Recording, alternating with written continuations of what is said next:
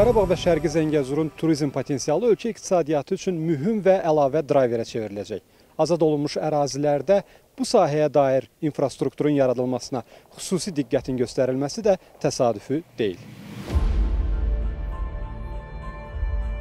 Kəlbəcərin İstisu kəndinin məşhur mineral suyu olan İstisu bulağı ətrafında 1928-ci ildə eyni adlı sanatoriya salınıb. İşğal dövründə yararsız hala salınan sanatoriyanın əvvəlki şöhrəti tam yeni simada bərpa olunacaq. 34 hektar ərazidə salınması nəzərdə tutulan İstisu istirahət müalicə kompleksi gündəlik 300 nəfər qəbul etmə imkanına malikdir.